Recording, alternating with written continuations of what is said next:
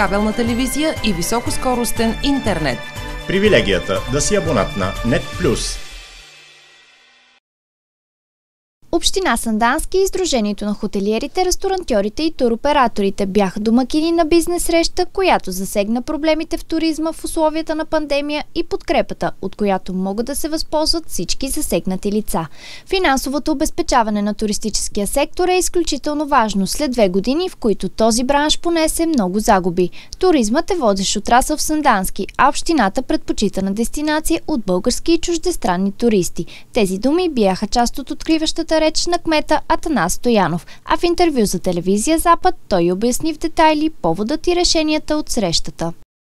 На тази среща бе дискутирано наистина възможностите, финансовите и банковите възможности, как туристическия бранш в тези нелека, нелека обстановка да търси финансови инструменти, да бъде подпомогната чрез евентуални кредитиране на техните инициативи и на техните бизнес начинания от тук напред.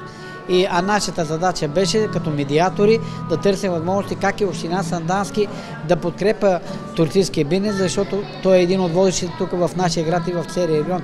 Така че среща се проведе в една добра, работна, нормална обстановка. Надявам се чрез нея да се мине към някакви по-практични измерения, да има по-практични измерения.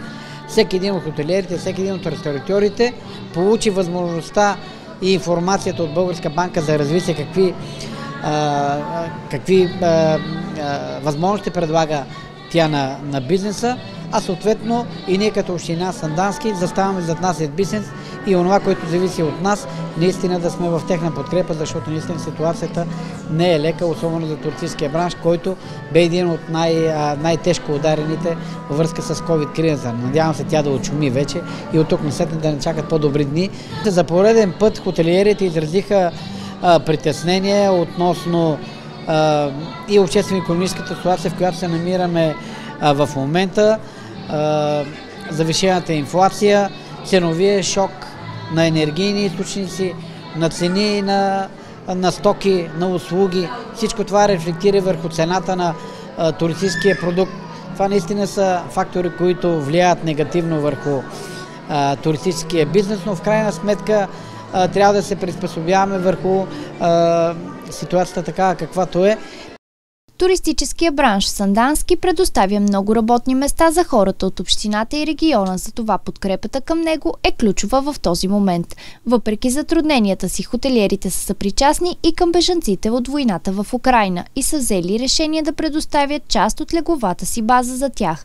А тези ни се очаква да пристигне и автобус с бесарабски българи от Одеса, които ще бъдат настанени именно в някои от хотелите, които предоставят подслон за хората от Украина кабелна телевизия и високоскоростен интернет. Привилегията да си абонат на NET+.